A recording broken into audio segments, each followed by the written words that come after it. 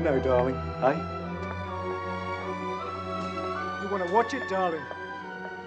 You get done up one of these nights.